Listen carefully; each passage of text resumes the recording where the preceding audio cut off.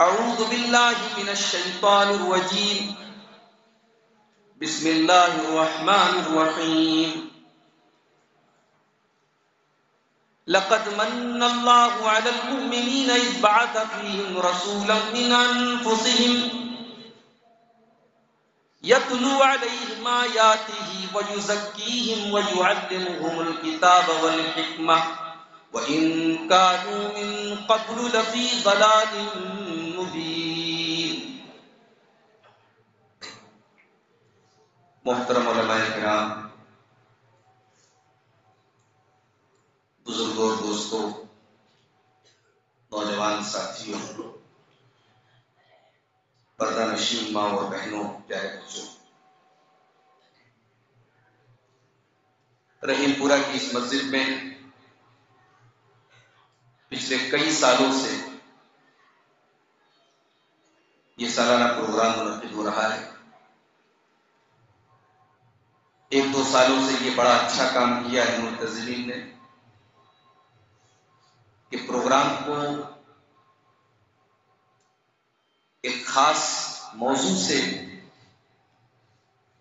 बात देते हैं। सारे ओलमा के मौजूद भी पोस्टर के ऊपर आ जाते हैं। आवाम के जहन में भी ये बात हो जाती है कि चलो आज के जलसे में इस इस मौजू पर बात है। आज का जलसा सीरत नबी के मौजू पर है और सीरत के मुख्तलिफ़ पहलुओं पर आपने मुख्तलिफ़ से किताब सुना। शेख यासिर महबूब साहब ने भी किताब दिया अमीर मोहतरम शेख आसद नबील साहब ने भी सीरत के पहलुओं को बयान किया। शेख सनाउल्ला मदनी हफजुल्ला ने अल्लाह के नबी सल्लल्लाहु अलैहि वसल्लम की मुख्तलिफ़ शादियों की हिम्मत बताई। और अभी आपने हमारे अज़ीज़ शेख गुफरान रहमानी साहब से मोहब्बत रसूल के मौजू पर बड़ा कीमती खिताब सवाल। मुझे जो टॉपिक मिला है, वो है बेसत रसूल के मकासद। अल्लाह के नबी दुनिया में क्यों आए? आपके आने का मकसद क्या है? पर्पज क्या उद्देश्य क्या क्यों आया मैंने आपके सामने एक आयत पढ़ी है सुयाल इमरान की आयत नंबर 164 एक सौ चौसठ नंबर की आयत। इस आयत में अल्लाह ने अपने नबी की बेसत के चार मकासद बयान और आज की मेरी पूरी तकरीर इन चार चीज़ों पर नबी दुनिया में क्यों आए? नबी चार काम के लकत मन अल्लाह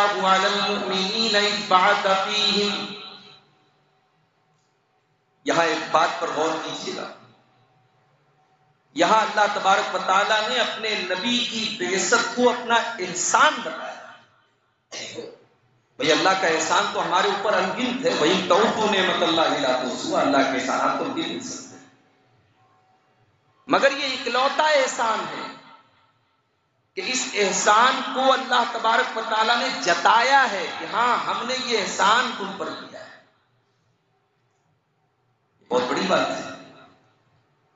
भाई अल्लाह ने हमको पैदा किया, यानी उसका एहसान वो रोजी दे रहा है, उसका एहसान हमारी साँसें चल रही है, उसका एहसान मगर इंसान के लिए सबसे बड़ा एहसान ये है कि वो अल्लाह के रास्ते पर आ जाए, वो सिरात मुस्तकीम पर आ जाए, और ये रास्ता हमें मिला है तो जनाब मोहम्मद रसूलुल्लाह सल्लल्लाहु अलैहि वसल्लम से इसीलिए अल्लाह ने अपने आखिरी नबी की बेसत को अपना सबसे बड़ा था। लकत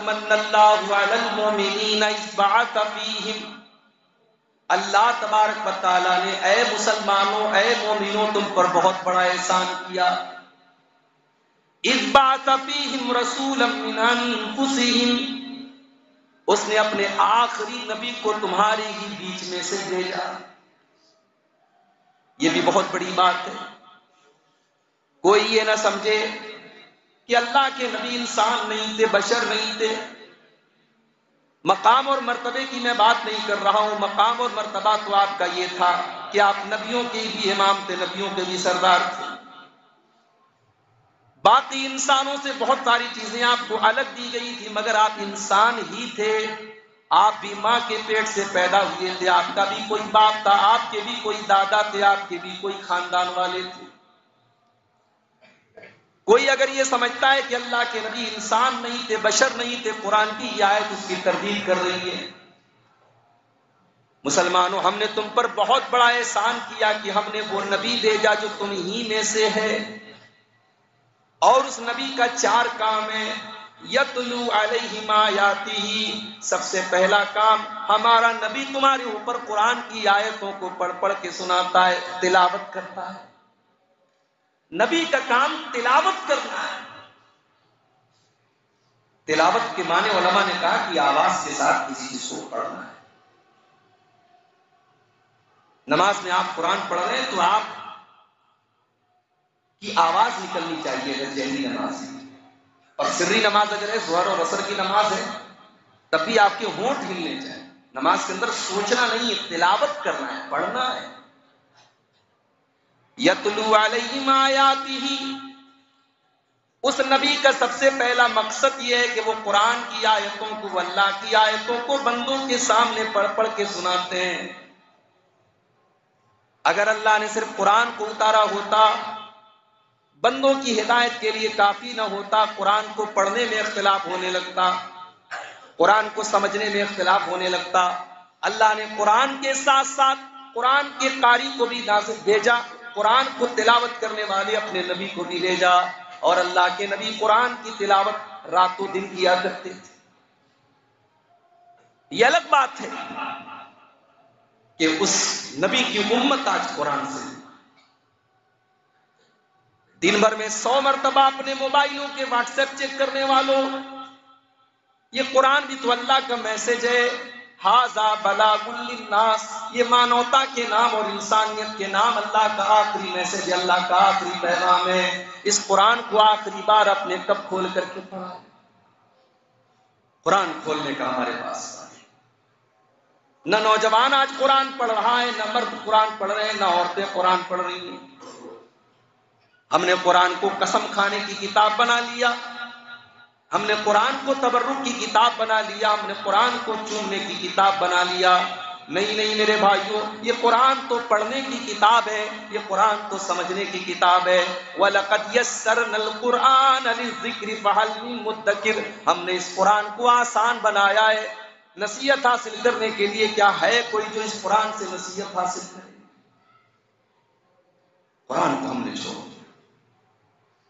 वो नबी उस नबी की ज़िंदगी का मकसद था कुरान को पढ़ना। और आज उस नबी की उम्मत का हाल यह है कि कुरान को लपेट करके अलमारी इसीलिए अल्लाह के प्यारे नबी फरमाते हैं इन अल्लाह किताब या इस कुरान के ज़रिए अल्लाह ताला बहुत सारे लोगों को इज़्ज़त भी देगा और इसी कुरान को छोड़ने की वजह से अल्लाह ताला बहुत सारे लोगों को जलील भी करेगा। आज जो जूता चप्पल हमको पड़ रहा है, जो पूरी दुनिया में हम जलील खार हो रहे हैं, हमने कुरान को छोड़ दिया, हमने कुरान को पढ़ना छोड़ दिया, कुरान को पढ़ाना छोड़ दिया। कुरान को पढ़ने, पढ़ाने वाला समाज का सबसे बेहतरीन इंसान। अल्लाह के प्यारे नबी फरमाते कुरान सबसे बेहतरीन इंसान वो है जो कुरान को पढ़ता है, पढ़ाता है। और ये कुरान अगर हमने वाकई में इस कुरान को पढ़ा होगा तो कल कयामत के दिन ये कुरान अल्लाह की बारगाह में हमारी सिफारिश भी करेगा। अल्लाह के प्यारे नबी फरमाते हैं अल कुरान मुसद्दकुन। कुरान कल कयामत के दिन अल्लाह की बारगाह में तुम्हारे लिए सिफारिश करेगा और कहेगा कि अल्लाह, तेरा बंदा मुझे पढ़ा करता था, इसकी रातें कुरान की तिलावत में गुजरा करती थी। कुरान सिफारिश करेगा और अल्लाह कुरान की सिफारिश को कबूल करेगा। कुरान की तिलावत की नबी की ज़िंदगी का पहला दूसरा मकसद, वह युजक युजकी और अल्लाह के आखिरी नबी दुनिया में इसलिए आए ताकि लोगों को पाक करें, लोगों को पाक करें, लोगों को पवित्र करें, लोगों के अंदर की गंदगी को दूर करें। एक गंदगी वो होती है जो हमारे ज़ाहिर में होती है। और एक गंदगी गंदगी यहाँ होती है, दिल में। अल्लाह के नबी यहाँ की गंदगी पूछ रहे तस्किया नफ्स जिसको कहा गया शरीर दिल की को पाक कर देती है और जब इंसान का दिल पाक होता है तो फिर उस दिल में अल्लाह की मोहब्बत भर जाती है। उस दिल में लालच नहीं रहता, उस दिल में दुनिया की मोहब्बत नहीं रहती। अल्लाह के नबी ने लोगों के दिलों की काया पलट दी। खुद न थे जो राह पर औरों के हादी बन गए। खुद न थे जो राह पर औरों के हादी बन गए। क्या नज़र थी जिसने मुर्दों को मसीहा कर दिया? जो खुद मुर्दा थे। अल्लाह के प्यारे नबी ने उनको मसीहा बना दिलों की दुनिया बदलिया। और अल्लाह कैसी दुनिया आज अदालत में मुजरिम पैसा दे करके अपने आप को छुड़ाने की कोशिश करता है, जज को खरीदता है, वकील को खरीदता है, अपने जुर्म को बेकसूर साबित करता है, अपने आप को बेकसूर साबित करता है, छूटने की कोशिश करता है। लेकिन अल्लाह के नबी ने कैसे दिल की दुनिया बदली? कि मुजरिम खुद आकर के अल्लाह के नबी के पास कहता है, औरत आकर के कहती है अल्लाह के नबी, मैंने जिना कर लिया है, मैंने गलत काम कर लिया है। अय अल्लाह के नबी, मुझे पाक कर दीजिए, मुझे जिना की सजा दे दीजिए ताकि मैं पाक हो जाऊँ। पता है उस औरत को शादीशुदा औरत की सजा अगर वो जिना करे तो पत्थरों से मार मार के खत्म कर देना, उसको मालूम है। लेकिन वो आकर के कहती है कि अल्लाह के नबी, ताहिर नहीं मुझे पाक कर दीजिए। यानी मैं इस बोझ को लेकर के अल्लाह के यहाँ नहीं जाना चाहती। मैं चाहती हूँ कि कल कयामत के जब मैं जाऊँ तो अल्लाह की बारगाह में मैं कह सकूँ कि अल्लाह, मुझे दुनिया में जिना की सजा दे दी गई तो आखिरत में मुझे सजा ना देना। अल्लाह के नबी टालने की कोशिश भी करते हैं, भगाने की कोशिश भी करते हैं उसको एक फरार का भागने का मौका भी देते हैं। लेकिन वो औरत कहती है कि अल्लाह के नबी, मैंने गलत काम किया है और मेरे पास उसका प्रूफ भी है, सबूत भी है। मैं हमल से हूँ। अल्लाह के नबी, मुझे पाक कर दीजिए। आपने फरमाया, ठीक है। जाओ, जब बच्चे की पैदाइश हो जाए, तब तुम बच्चे को लेकर के आना, तब हम देखेंगे नौ महीने का टाइम मिल गया। अदालत खुद मुजरिम को मौका दे रही है। कोई रिकॉर्ड में नाम तो नहीं लिखा गया। साहबा उस औरत को भूल चुके हैं, अल्लाह के नबी भी भूल चुके हैं। नौ महीने गुजर गए, फिर वो औरत अपने बच्चे को गोद में लेकर के आती है।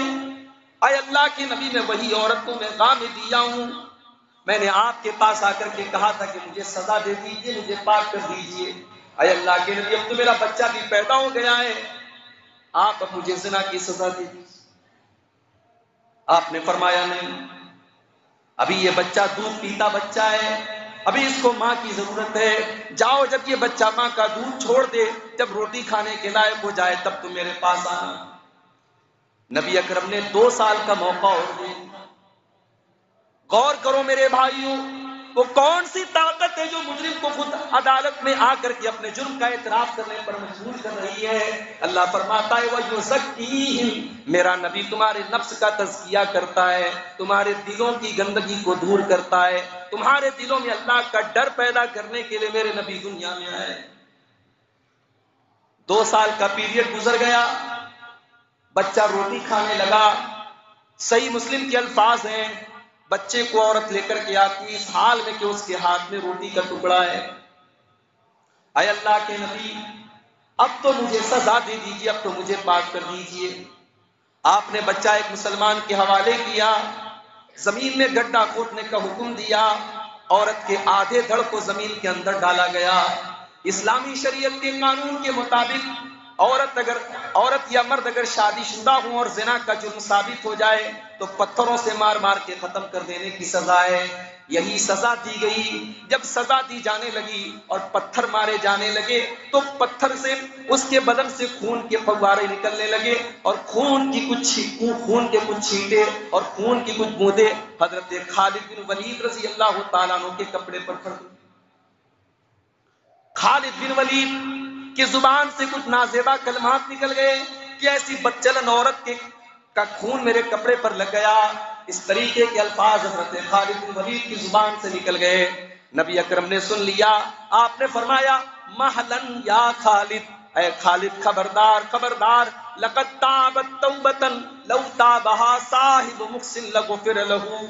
खालिद, इस औरत ने इतनी सच्ची तौबा की है कि अगर इसकी तौबा कोई चोर डाकू भी करता, कोई लुटेरा भी करता तो अल्लाह उसको भी माफ़ कर देता। और एक रिवायत में अल्फाज है कि ए खालिद, अगर इसकी तौबा को पूरे मदीने में तकसीम कर दिया जाए तो पूरे मदीने के लोगों के लिए काफ़ी ये थी वो दिलों की दुनिया जो अल्लाह के प्यारे नबी बदल, बदलने के लिए दुनिया में आए। कल तक जो पैसे के लालची थे दौलत के लालची थे आज अल्लाह के नबी ने उनके दिल के अंदर आखरत का ऐसा डर पैदा कर दिया कि हराम का एक पैसा वो अपने घर में रखना नहीं चाहते। मदीना के अंदर जब मुसलमान दाखिल होते हैं, बहुत गरीब हैं, बहुत परेशान हैं, और मदीना के अंदर यहूदी सूद और ब्याज का धंधा करते हैं, अगर अल्लाह के नबी चाहते तो कह सकते थे कि तुम भी सूद और ब्याज का धंधा करो, तुम्हें तो पैसे की ज़रूरत भी है, तुम्हारी इकोनॉमी तो कमज़ोर भी है, तुम्हारी मीशत तो कमज़ोर भी है, कुछ दिन तक सूद और ब्याज का धंधा कर लो, उसके बाद तुम बिज़नेस कर लेना। लेकिन मदीना जाते ही कुरान की आयत नाजिल हो जाती है मुसलमानों, हालात जैसे भी हो जाएँ, हलाल हलाल ही रहेगा और हराम हराम ही रहेगा। सूद और ब्याज हराम है और बिज़नेस हलाल है। तुम्हें मदीना के इस परेशानी के माहौल में भी सूद और ब्याज लेने की इजाज़त नहीं है। और साहबा ने अपने आप को दूर रखा है। हराम से दूर रखा ये ये दिलों की दुनिया बदली थी अल्लाह के नबी ने। उमर इब्ने खत्ताब को देखो 22 लाख स्क्वायर मील के दायरे पर हुकूमत करने वाला अमीर मोमिनीन, ऐसा कपड़ा पहनता है कि जगह जगह पैबंद लगे हैं। क्या हज़रत उमर के पास इतना पैसा भी नहीं था कि वो अच्छे कपड़े पहन सकते, यकीनन वो पहन सकते थे, मगर ज़िम्मेदारी का एक एहसास था जो हज़रत उमर को कपड़ा पहनने के मामले में भी एहतियात करने पर आमादा करता था। वो रातों में अपने बिस्तर पर सोते नहीं थे। जब दुनिया रात में आराम से बिस्तर पे सोया करती थी, हज़रत उमर बिन खत्ताब रज़ी अल्लाह तु मदीना के घरों का चक्कर लगाया करते थे। कहीं कोई गरीब, कोई बेवा, कोई यतीम, कोई मिस्कीन तो नहीं है। किसी के घर में अनाज की कमी तो नहीं है। किसी के घर में राशन की कमी तो नहीं है। ये ज़िम्मेदारी का एहसास, ये अल्लाह का डर पैदा किया था जनाब मोहम्मद तो पहला मकसद, कुरान की तिलावत करने के लिए आना है। दूसरा मकसद, आप दिलों की दुनिया बदल लेंगे तीसरा मकसद वह किताबा, आप दुनिया को इल्म देने के लिए आए। आपका मानने वाला जाहिल नहीं हो सकता। आप तो इल्म की रोशनी लेकर के आए। आप तो दुनिया को किताब और हिकमत की तालीम देने के लिए आए। लेकिन आज अफसोस आज अफसोस की बात है, उसी नबी का कलमा पढ़ने वाले सबसे ज़्यादा जाहिल हैं और आज जहालत में सबसे ज़्यादा हमारा परसेंटेज है। न हमारे पास दीन की तालीम है, न दुनिया की तालीम है। हमारे मोहल्लों में खाने पीने की बेहतरीन दुकानें आपको मिल जाएँगी, चाय पान की पचासों दुकानें मिल जाएँगी। गैर मुस्लिमों के इलाकों में चले जाओ, एक से एक आपको स्कूल मिल जाएँगे, एक से एक कोचिंग सेंटर मिल जाएँगे। पहचान बन जाती है कि फला इलाका गैर मुस्लिमों का इलाका है। वहाँ पर कोचिंग सेंटर और तालीमी इदारे और आप मुसलमानों के इलाकों में चले जाएँ, वहाँ गोश्त की बेहतरीन दुकानें आपको मिलेंगी, वहाँ खाने पकाने की बेहतरीन दुकानें आपको मिलेंगी। जो नबी दुनिया में तालीम के लिए आए, जिनकी मकसद, जिनकी ज़िंदगी का मकसद था तालीम देना, आज उस नबी की उम्र तालीम से दुनिया की दूसरी कौमें आधा पेट खाती हैं, लेकिन अपने बच्चों की तालीम से कोई समझौता नहीं करती। रिक्शा चलाने वाला भी अपने बच्चे को डॉक्टर बना रहा है। मगर आज मुसलमान तालीम के मैदान में पीछे वो लोगों, जिस नबी का हमने कलमा पढ़ा, वो नबी हमको किताब और हिकमत की तालीम देने के लिए आए। वह इन कानून उस नबी के आने के पहले दुनिया गुमराह थी। हालात ये थे। हालात क्या थे मक्का के मेरे भाइयों?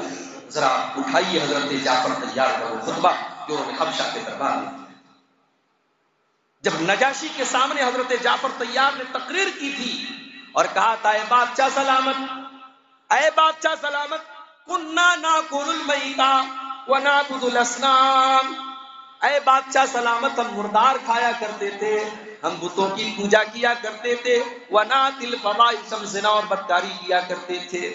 व नक्तउलरहाम हम रिश्तेदारों से रिश्ता काटा करते थे, व नुसी उल जिवार, हम पड़ोसियों के साथ बुरा सुलूक किया करते थे। हम इसी हाल में थे कि अल्लाह ने अपने आखिरी नबी को भेजा और एक ऐसे नबी को भेजा जो हमारे ही बीच में से पैदा हुए। कुन्ना नारिफुन सबहू। हम उनका खानदान भी जानते हैं, उनके बाप दादा को भी जानते हैं। वह सिद्ध करू और हम अच्छी तरीके से जानते हैं कि उन्होंने कभी झूठ नहीं बोला। वो अमान तरू और हम अच्छी तरीके से जानते हैं कि वो बहुत पक्के अमानतदार हैं। वह आफाफ और हम जानते हैं कि वो बहुत पाक दामन है, उनके कैरेक्टर पर कोई दाग नहीं नबी की ज़िंदगी का एक खास पहलू ये मुखालफत हुई आप लेकिन कैरेक्टर पर कोई सवाल नहीं था। कैरेक्टर पर कोई सवाल। लोगों ने शायर कहा मजनू कहा, दीवाना कहा, जादूगर कहा। किसी ने झूठा नहीं कहा। किसी ने बेईमान नहीं कहा। किसी ने यह नहीं कहा कि मोहम्मद ज़ुबान के सच्चे नहीं है, वादे के पक्के ये नबी का कैरेक्टर था। हज़रत जाफ़र तैयार रज़ी अल्लाह नजाशी के दरबार में कहते हैं कि बादशाह सलामत, उस नबी को हमने जब देखा और वो नबी आए और उन्होंने एक अल्लाह की तोहहीद की हमको दावत दी तो हम उसके ऊपर ईमान ले आए। बस यही हमारा कसूर है, बस यही हमारी मेरे भाइयों, आज उस नबी की ज़िंदगी के मकसद को हम भूल रहे थे। वो नबी दुनिया में आए थे इंसानियत को बचाने के वो नबी दुनिया में आए थे अल्लाह के बंदों को जहन्नम से बचाने के लिए। उस नबी ने अपने लिए क्या इकट्ठा किया है? अल्लाह के नबी की ज़िंदगी का आखिरी दिन है और आखिरी रात आपके घर में जो चराग जलाया जा रहा है, उस चराग का तेल भी पड़ोसी से उधार दिया गया है। आपके घर में जौ का अनाज आता है, वो भी आपकी जरा यहूदी के घर गिरवी रखी जाती है, तब वो अनाज आता है। आपने कोई प्रॉपर्टी नहीं छोड़ी, आपने कोई मालो मनाज नहीं छोड़ा, आपने अपने बच्चों के फ्यूचर के लिए कोई दुनिया का मालो असबाब नहीं छोड़ा। बस एक ही तड़प आप दुनिया में लेकर के आए। अल्लाह के बंदे अल्लाह के रास्ते पर आ जाएँ, तौहीद पर आ जाएँ। अल्लाह के बंदे अल्लाह के आगे सजदा करने लगे। अल्लाह के बंदे शिरक से बच जाएँ, अल्लाह के बंदे शैतान के रास्ते से बच जाएँ। मेरे नबी को क्या मिलता था? मेरे नबी ताइफ के बाजारों में जख्मी हो रहे मेरे ताइफ के गलियों में, ताइफ के चौराहों में मेरे नबी पर पत्थर बरसाए जा रहे हैं। मेरे नबी को क्या हासिल था? मेरे नबी को बस एक ही धुन थी।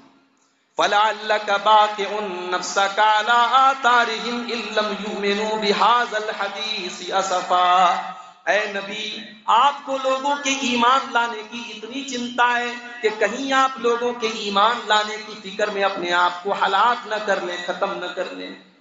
यही फ़िक्र मेरे नबी को थी कि लोग ईमान ले आए, लोग तो आपने अपने आप को दुनियादारी से दूर रखा और अपने आप को ही नहीं, अपने अहले बैत को भी आपने दुनियादारी से दूर रखा। कैसी ज़िंदगी आपने गुजारी? जरा सीरत की किताबें उठा करके देखो मेरे भाइयों, मेरी माओ बहनों। आज तो अगर शौहर किसी अरमान को पूरा करने में कोई कमी कर दे, बीवी का कोई शौक पूरा न कर पाए तो बीवियाँ ना नाशुक्री करने लगती हैं। बीवियाँ ताना मारने लगती हैं। बात यहाँ तक पहुँच जाती है कि मायके तक से ताना आने लगता है कि हमारा दामाद तो बड़ा फटीचर है, हमारी बेटी की ये ख्वाहिश भी नहीं पूरी कर पा रहा है। मेरी प्यारी माओ बहनों ज़िंदगी में सब्र भी तो किसी चीज़ का नाम है पनात भी तो किसी चीज़ का नाम है। अल्लाह के नबी की पीढ़ियों ने किस तरीके से ज़िंदगी गुजारी है, जरा आप वो भी मुताला करके देखिए। अम्मा ऐशा अपने भांजे से कहती हैं हज़रत उर्वा बिन जुबैर से कहती है कि अय मेरे भांजे दो दो महीना गुजर जाया करता था और मोहम्मद अरबी के घर में चूल्हा नहीं जलता था। दो दो महीने का चाँद हम देख लेते थे और हमारे घरों में चूल्हा नहीं जलता था। हज़रत उर्वा ने पूछा कि, खाला जान, फिर आपका गुजारा कैसे होता था? फरमाया अल असमदान हम दो चीज़ें खा करके गुजारा कर लिया करते थे। हम खजूर खा लिया करते थे, पानी पी लिया करते थे। ये ज़िंदगी गुजारी अल्लाह ने फाके किए हैं आप। ज़िंदगी में बड़ा कम ऐसा मौका आया कि आप पेट भर के खाना एक मरतबा हज़रत उमर फारूक रज़ी अल्लाह आपसे मिलने के लिए आए। आपके हुजरे में दाखिल हुए। मामूली सा चटाई बिछा हुआ है। किनारे पानी का मशकेजा रखा हुआ है। एक लकड़ी का प्याला है। थोड़ी सी जौ किनारे रखी हुई है। यही कुल कायनात है, मोहम्मद रसूलुल्लाह की कमरी उमर इब्ने खत्ताब कुछ कहते तो नहीं है, आँखों में आँसू भर आते हैं और कहते कि अल्लाह के नबी, कैसरो किसरा जो दुनिया के बादशाह हैं, वो तो ऐशो आराम से अपने अपने महलों में रहते हैं। और अल्लाह के नबी, आप तुम्हारे दिलों के बादशाह हैं, आप तुम्हारे दिलों पर हुकूमत करते हैं, आप ऐसी ज़िंदगी क्यों गुजारते हैं? अल्लाह के नबी ने फरमाया, अमा तरजा अंतकून लहुम दुनिया व यकून लना आखिरा अय उमर, क्या तुम नहीं चाहते कि कैसरो किसरा को तो दुनिया मिल जाए और तुम्हारे नबी को आखिरत की नेमतें मिल जाए? ये ये कारनामा था। दुनिया से नज़रें हटा करके अल्लाह के नबी ने आखरत की नेमतों पर लोगों की तवज्जो डाली थी और आखरत का खौफ लोगों की मेरे प्यारे साथियों, उस नबी का एक मकसद ये भी था, वो दुनिया परस्ती से हटा करके फ़िक्र आखरत पैदा करने के लिए आए थे। और ऐसी उन्होंने सोच बना दी साहबा की अपना सब कुछ कुर्बान करके भी साहब अपने आप को फ़ायदे में सोचा करते थे, अपने आप को घाटे में नहीं सोचते। थे हज़रत सुहैब रूमी को देखो, ये रूम से आए हुए हैं। मक्का के अंदर रहते हैं, यही पलते बढ़ते हैं, यही कारोबार करते हैं, पैसा कमाते हैं। अच्छा बिज़नेस सेटअप कर लेते हैं, अच्छी इनकम होने लगती है। प्यारे नबी के ऊपर ईमान लाते हैं। अल्लाह के प्यारे नबी जब मदीना चले जाते हैं सुहेब रूमी रज़ी अल्लाह कुछ दिनों के बाद मदीना जाने का इरादा करते हैं। अपने सारे माल को इकट्ठा करते हैं और ऊँट के ऊपर सवार होते हैं और मदीना जाने का इरादा करते हैं। मक्का वाले के ऊँट की नकेल पकड़ लेते कहा जा रहे हो? ऐ सुहेब, कहा जा रहे हो? कहते मैं तो यशरीफ जा रहा हूँ, मदीना जा रहा हूँ। कहा कि अतई तना सुनू कल्ला मा ललक ऐ सुहैब, जब तुम मक्का आए थे, तुम्हारे पास फूटी कौड़ी नहीं थी। सारा पैसा तो तुम, हम, तुमने हमारे बीच में रह करके कमाया, और अब चाहते हो कि सब लेकर के मदीना चले जाओ। ऐ सुहैब, हम तुम्हें ऐसा करने नहीं देंगे। तुम्हें जाना है, तुम जाओ, लेकिन सारा माल तुम्हें यहाँ छोड़ के जाना पड़ेगा।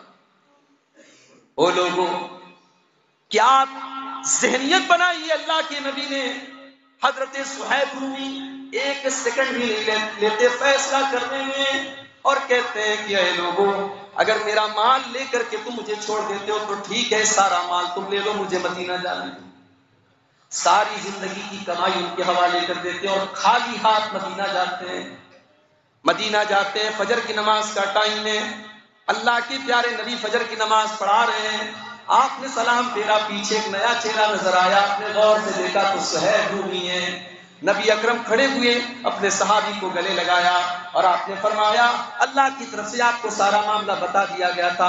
आपने फरमाया, ऐ सुहैब रबी तल भैया रबी तल भैया तूने बड़े फ़ायदे का सौदा किया, तूने बड़े फ़ायदे का सौदा तूने कोई घाटे का सौदा नहीं सारी ज़िंदगी की कमाई दांव पे लगा दी अपने ईमान को बचाने के लिए, अपने नबी की मोहब्बत के लिए। मेरे भाइयों, ये जज्बा पैदा किया था जनाब मोहम्मद रसूलुल्लाह सल्लल्लाहु अलैहि वसल्लम उनके दिलों में आपने फ़िक्र आखिरत पैदा की थी साहब। अल्लाह के नबी दुनिया में एक और मकसद के लिए आए आप दुनिया में अल्लाह का रास्ता बताने के लिए आए बुखारी और मुस्लिम की रिवायत है, हज़रत जाबिर कहते हैं कि अल्लाह के नबी सोए हुए थे। कुछ फरिश्ते आते हैं। फरिश्ते आते हैं। एक फरिश्ता कहता है कि शायद ये सो रहे हैं। दूसरा कहता है, नहीं नहीं, सो नहीं रहे। इन्नल आईना ना ही मतुन इनकी आँखें सो रही हैं। बल कलबा यकजान लेकिन दिल जाग रहा है। सुन लो आज। इस मस्जिद से मैं ये भी कह देता हूँ, अहले हदीस ने कभी ये नहीं कहा कि नबी हमारे जैसे हैं। अल्लाह की कसम, नबी हमारे जैसे नहीं है। हम सोते हैं तो हमारी आँख भी सोती, हमारा दिल भी सोता है। नबी सो रहे हैं तो नबी की आँख सो रही है, लेकिन नबी का दिल जाग रहा है। हमने कभी ये नहीं कहा कि नबी हमारे जैसे थे, नहीं, हमारा अकीदा है। हाँ हमने ये ज़रूर कहा कि नबी इंसान थे, जैसे हम इंसान हैं, नबी भी इंसान थे। लेकिन बहुत सारी खसूसियात थी, बहुत सारी विशेषताएँ थी, बहुत सारी खसूसियतें थी जो अल्लाह ने अपने नबी को नवाजी। सो रहे हैं आप, लेकिन आपकी आँखें सो रही दिल जा फरिश्ता कहता है कि चलो इनकी एक मिसाल बयान करते हैं। फरिश्ते आपस में कहते हैं कि इनकी एक मिसाल बयान करते हैं। क्या मिसाल है? कहते हैं मिसाल ये है कि एक आदमी ने घर बनाया और घर बनाने के बाद उसमें दावत रखी। वह बासा दाइन और एक, एक आदमी को भेजा कि जा करके तुम लोगों को दावत दो। अब जो आदमी उसकी दावत को कबूल करता है वो घर के अंदर आता है और दावत खाता है। और जो उसकी दावत को कबूल नहीं करता है, वो घर के अंदर नहीं आता है और दावत नहीं खाता है। ये मिसाल बयान की फरिश्तों ने। दूसरे फरिश्ते ने कहा कि इस इस मिसाल का मतलब भी बता दो। इस मिसाल का मतलब भी बता दो ताकि ये समझ जाए। फरिश्ता कहता है ये तो सो रहे हैं। दूसरा फरिश्ता कहता है नहीं नहीं, ये सो नहीं रहे, इनकी आँखें सो रही है, लेकिन दिल जाग रहा है। बता दो इस मिसाल का मतलब। फरिश्ता कहता है फद्दार वल जन्ना, घर जो है वो जन्नत है। वह दाई मोहम्मद और जो दाई हैं, जो दावत देने वाले हैं, जो लोगों को निमंत्रण देने वाले वो मोहम्मद वसल्लम है। पवन अजाब मोहम्मद जो अल्लाह के नबी की दावत को कबूल करेगा, वो जन्नत में जाएगा। जिसने अल्लाह के नबी की दावत को कबूल किया, उसने अल्लाह की दावत को कबूल किया और जिसने आप आपकी नाफरमानी की, उसने अल्लाह की नाफरमानी की। वह मोहम्मद और अल्लाह के प्यारे नबी लोगों के दरमियान फ़र्क करने वाले होंगे। कल कयामत के दिन आपके ज़रिए फ़र्क कर दिया जाएगा। जो आपके ऊपर ईमान लाएगा, वो मोमिन होगा। और जो आपके ऊपर ईमान नहीं लाएगा, वो मुनाफिक होगा, वो काफिर होगा, वो मुशरक होगा। अल्लाह के नबी दुनिया वालों को जन्नत का रास्ता दिखा और आपकी एक खसूसियत अल्लाह ने यह भी बताई कि आप दाई अल्लाह या नबी, इन्ना अरसलना का व व नजीरा। नबी, हमने आपको अल्लाह की तरफ़ दावत देने वाला बना करके भेजा।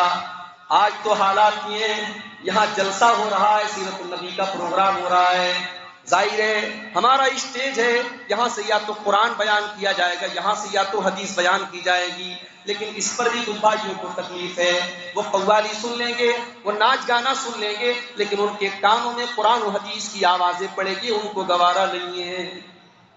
सीरत के प्रोग्रामों को भी आज कैंसिल कराने के लिए हमारी कौन को हम क्या दूसरों को दावा दें? आज तो बाकायदा बड़े बड़े बैनर लगाए जाते हैं, साहब। फला मसलक वाले उनके नाम के साथ गाली लगाई जाती है। फला मसलक वाले तो ऐसे। ये उस नबी के मानने वालों का किरदार है, जो नबी दाई अल्लाह थे। लोगों की तरफ़ लोगों को अल्लाह की तरफ़ बुलाने वाले थे, जिनकी ज़िंदगी का मिशन था कि हम लोगों को अल्लाह की तरफ़ दावत थे मेरे प्यारे साथियों, यहाँ पर मैं आपको एक सबक ये बताना चाहता हूँ कि दावत और तबलीग, ये हम सब की भी ड्यूटी है। ज़रूरी नहीं है कि अब्दुल गफ्फार साहब तकरीर करके दावत और तबलीग का काम करें, तभी दावत है। आप अपने बिज़नेस के करते हुए, अपने काम धंधे में, अपने कारोबार में आपसे जो मिलने जुलने वाले लोग हों, आप बातों बातों में उनको तोहहीद की दावत दें, उन्हें सुन्नत के बारे में बताएँ, उन्हें इस्लाम के बारे में बताएँ। एक एक मामूली पढ़ा लिखा इंसान भी दावत का काम अपनी सलाहियत के एतबार से कर सकता है, दावत सबका काम है।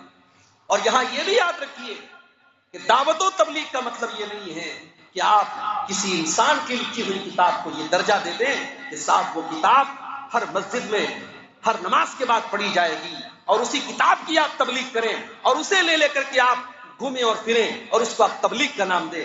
माफ़ कीजिए, तबलीग ये है कि आप लोगों को अल्लाह की तरफ़ बुलाएँ और आप जब अल्लाह की तरफ़ बुलाएँगे तो सबसे पहले आप तोहीद की तरफ़ बाद लोगों का तबलीग का ये अंदाज नहीं होता है। साहब, हम हम शिरक से नहीं मना करें। हम बुराई से नहीं मना करें हम पहले नमाज़ की तरफ़ बुलाएँगे। हम पहले लोगों को नमाज़ की तरफ़ बुलाएँगे, नमाज़ पढ़ने लगेगा तो सब बुराई खत्म हो जाएगी। ये सही बात नहीं ये वो, ये तरतीब सही नहीं है। इस्लाम की तरतीब यह है कि हम सबसे पहले तोहीद की तरफ़ बुलाएँ। अगर एक इंसान तोहीद पर नहीं है तो उसकी नमाज़ का कोई मतलब ही नहीं है। उसका अकीदा अगर सही नहीं है, वो अल्लाह को छोड़ करके किसी और को मुश्किल कुशा मानता है। अल्लाह को छोड़ करके किसी और के आगे सर झुकाता है। अल्लाह को छोड़ करके किसी और के ऊपर भरोसा करता है। वो लाख सजदा करते रहे, वो पैदल हज कर ले, उसके हज का कोई मतलब नहीं, उसकी नमाज़ का कोई मतलब नहीं। सबसे पहले अकीदा सही होना चाहिए। अल्लाह के प्यारे नबी की ज़िंदगी का एक मकसद ये भी था, आप दाइए अल्लाह या नबी का शाहिदा। ऐ नबी, हमने आपको गवाह बना करके भेजा। कल कयामत के दिन आप अपनी उम्मत के बारे में गवाही देंगे। वह मुबशिरा, और आपको हमने बशारत सुनाने वाला, जन्नत की खुशखबरी सुनाने वाला बना करके भेजा। वह नजीरा और जहन्नम से डराने वाला बना करके भेजा। वह और अय नबी, हमने अल्लाह की तरफ़ आपको दावत देने वाला बना करके भेजा। वह सिराजम और नबी हमने आपको चमकता हुआ सूरज बना करके भेजा। अल्लाह के नबी चाँद नहीं है, अल्लाह के नबी सूरज है, क्योंकि चाँद की जो रोशनी होती है, वो भी सूरज से उधार ली हुई होती है और सूरज की रोशनी अपनी रोशनी होती है। अल्लाह ने अपने नबी को चाँद नहीं कहा, अल्लाह ने अपने नबी को सूरज कहा कि मेरा नबी सिराजम मुनीरा है, मेरे नबी का जो नूर है, जो रोशनी है, वो उनका अपना नूर है, अपनी रोशनी। नबी अकरम की ज़िंदगी का एक दो मकसद और बयान करके बात आप इस दुनिया में गरीबों, यतीमों, बेवाओं के सहारा बनकर आपके पहले गुलाम जो होते थे, जानवरों की तरह उनसे सुलूक किया जाता था। गुलामों के साथ जानवरों के जैसा सुलूक किया जाता था। आप जो शरीयत लेकर के आए, उसमें कदम कदम पे गुलाम को आज़ाद करने का हुक्म दिया गया। आपने कसम तोड़ दी, चलो कफ्फारा में गुलाम को आज़ाद करो। आपने रोजा जानबूझ करके तोड़ दिया, चलो गुलाम को आज़ाद करो। आपने बीवी से जिहार कर लिया, चलो गुलाम को आज़ाद करो। कदम कदम पे हमारी शरीयत में गुलाम को आज़ाद करने का सिस्टम रखा गया। गुलामी को खत्म करने की शुरुआत की है जनाब मोहम्मद रसूलुल्लाह से। उसके बाद आपने तालीम दी कि तुम्हारे नौकर चाकर जो तुम्हारे घर में खाना बनाते हैं, वो उस खाने को पकाने में गर्मी की तकलीफ़ बर्दाश्त करते हैं। जब वो खाना तुम खाओ तो उनको भी खिलाओ। आप जब इस दुनिया से जाने लगे, आपने दुनिया वालों को ये तालीम भी दी असलाता मलकत ईमानुकुम ऐ लोगों, नमाज़ का ख्याल करो और अपने गुलामों का, अपने नौकर चाकरों का भी ख्याल करो। उनके साथ तुम कोई जुल्म न करना, ज्यादती न करना। यतीम, जो बेसहारा होता है, ये अलग बात है कि आज हमारे समाज का ऐसा सिस्टम बन गया, ज्वाइंट फैमिली सिस्टम है बाप के चार बेटे चारों कमा रहे हैं। बड़ा बेटा बेचारा, वो मेहनत कर रहा है, बाकी छोटे बेटे भी सपोर्ट कर रहे हैं। बड़े बेटे का इंतकाल हो गया बाप की ज़िंदगी। ये मसला आता है। बड़े बेटे का इंतकाल हो गया बाप की ज़िंदगी में। अब जिसको शरीयत का मसला कभी याद नहीं आता, उसको यहाँ शरीयत का मसला याद आ जाता है कि अच्छा बेटे का इंतकाल हो गया बाप की ज़िंदगी में। अब बेटे के बेटों का कुछ नहीं बने और उसके जो चचा होते हैं, उन यतीम बच्चों के जो चचा होते हैं, वो इतने बेरहम हो जाते हैं, इतने बेमुरबत हो जाते हैं कि उनके बाप की बनाई हुई प्रॉपर्टी में से अपने ही भतीजों को रत्ती बराबर देना नहीं चाहते। और साफ़ कहते हैं कि शरीयत में तुम्हारा कुछ नहीं बनता। मेरे प्यारे साथियों, आप यतीम का अगर माल खा भी जाएँ, याद रखिए, अल्लाह ताला ने यतीम का माल खाने वालों के, के लिए बहुत बुरी वही सुनाई है। अल्लाह ने फरमाया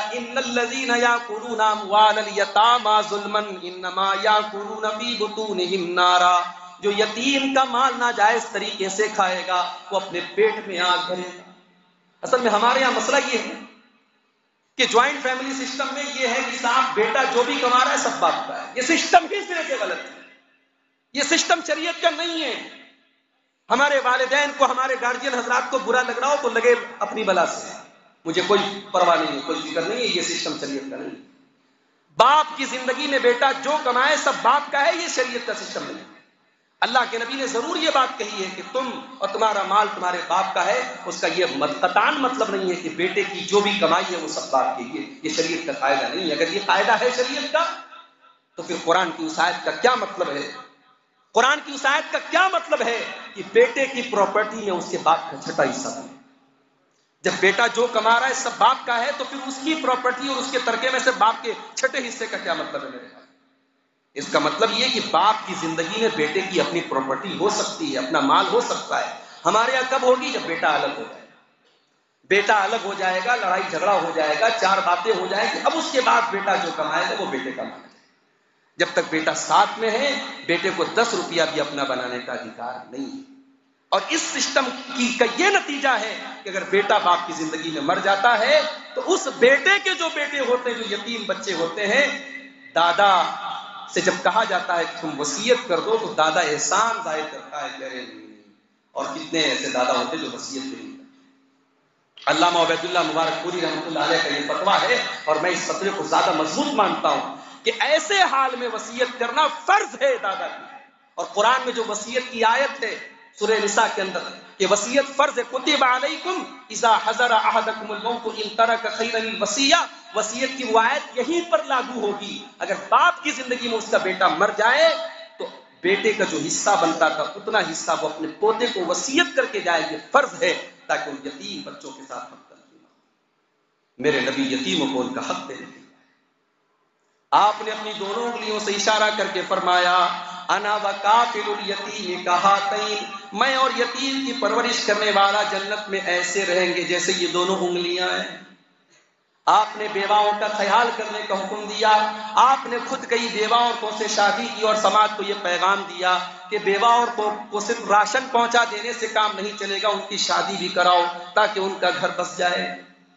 तो कमजोरों और गरीबों के लिए अल्लाह के नबी रहमत बन करके आए, आपकी ज़िंदगी का एक मकसद ये भी था। आपकी एक ज़िंदगी का मकसद ये भी था, आप मुसावात का दर्श लेकर के आए थे। आपकी शरीयत में किसी बिरादरी को किसी बिरादरी के ऊपर कोई फजीलत हासिल नहीं है, किसी ज़ुबान बोलने वाले को किसी दूसरी ज़ुबान के ऊपर कोई फजीलत हासिल नहीं है।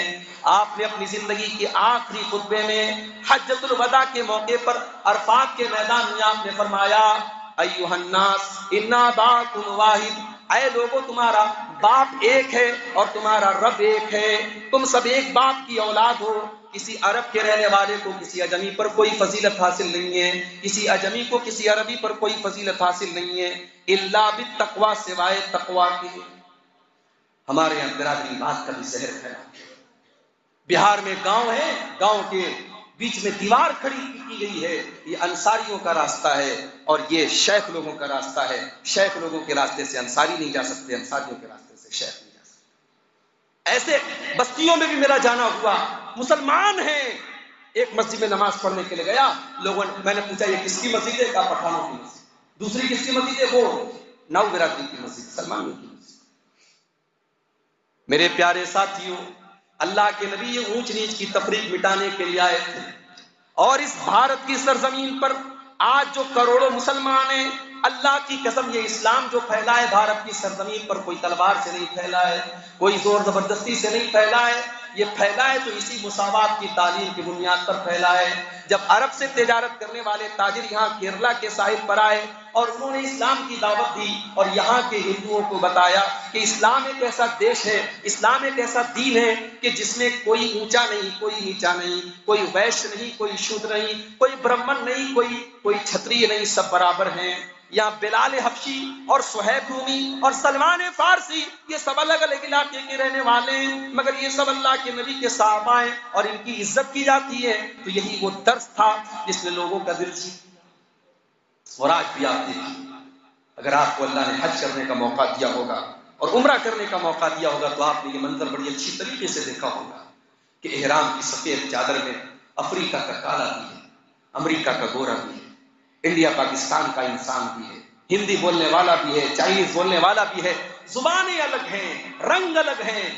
मगर सबकी ज़ुबान पर बस ही नारा है लब्बई अल्लाहुम्मा लब्बई बंदो, मोहताज, गनी एक हुए तेरे पर, तेरे दरबार में पहुँचे तो सभी ये अल्लाह का दरबार है, जहाँ सब एक हो जाते हैं और सब पाँव से पाँव मिल मिला करके खड़े होते हैं। ये तालीम थी जनाब मोहम्मद रसूलुल्लाह सल्लल्लाहु अलैहि वसल्लम की आपने सारे इंसानों को मुसाहत है। मेरे भाइयों आज दुनिया को ज़रूरत है उस नबी की सीरत को समझाने की। लेकिन उस नबी की सीरत को कौन समझाए? ज़ाहिर है कि दुनिया कुरान बाद में पढ़ेगी दुनिया नबी की सीरत बाद में पढ़ेगी। दुनिया पहले हमें पढ़ेगी दुनिया हमारा किरदार देखेगी हमारे अंदर वो देखेगी कि मुसलमान ऐसा होता है और हमारे अंदर से जब कोई आफ्ताब नाम का लड़का पैदा होता है और जो अपनी महबूबा के छत्तीस छत्तीस टुकड़े करता है तो दुनिया ये नहीं सोचती है कि वो आफ्ताब नाम का एक वैश्य दरिंदा था। दुनिया ये कहती है कि मुसलमान का काम था। दुनिया ये कहती है वो मुसलमान का काम था। फिर वहाँ पूरी मुसलमान कौम पर उंगलियाँ उठाई जाती हैं। मेरे प्यारे साथियों, हमें और आपको अपना किरदार मज़बूत बनाना हमें और आपको अपना किरदार अपने नबी की सीरत में ढालना होगा। और आज जो लोग ये कहते हैं कि हिंदुस्तान की सरजमीन से मुसलमानों को निकाल देना चाहिए, हम अपना किरदार ऐसा बनाएँ इसी भारत का दूसरा हमारा गैर मुस्लिम भाई खड़ा होकर के कहे कि नहीं, ऐसे लोगों को निकाला जब हज़रत अबू बकर सिद्दीक रज़ी अल्लाह एक मरतबा मक्का छोड़ करके जाने लगे, काफिरों के जुल्म सितम से तंग आकर के मक्का छोड़ करके जाने लगे तो उनका एक बहुत पुराना दोस्त था उसका नाम था इब्न दगना। उसने रास्ते में उसकी मुलाकात की। उसने कहा, अबू बकर, कहाँ जा रहे उसने कहा कि इस्लाम पर अमल करना बहुत मुश्किल हो गया अब मैं मक्का में नहीं रह सकता, मैं छोड़ के जा रहा हूँ। तो उसने क्या जुमला कहा था मेरे इब्ने दगना ने कहा था इन मिसल कला यखरुज वला अय अबू बकर, तुम लोगों का साथ देते तुम बेवाओं और यतीमों के का सहारा हो तुम बेकार लोगों को काम दिलाते हो तुम इंसानियत की मदद करते हो तुम्हारे जैसा इंसान निकाला नहीं जा सकता तुम्हारे जैसा इंसान इस इस and also press this bell icon. अल्लाह से दुआ है रब्बुल आलमीन हमें अपने नबी की सीरत पर चलने की तौफीक अता फरमाए। अल्लाह के नबी की बेसत के मकासद को समझने की तौफीक अता फरमाए। रब्बुल आलमीन आज के इस प्रोग्राम को मुनद करने वाले तमाम भाइयों की कोशिशों को कबूल फरमाए। जो बातें आज बयान की गई कहने वालों को सुनने वालों को सबको अमल की तौफीक अता फरमाए। जब तक दुनिया में ज़िंदा रहे इस्लाम पर ज़िंदा रहे और हम सबका खात्मा ईमान पर हो। आमीन व आखिर दावा। आलमीन।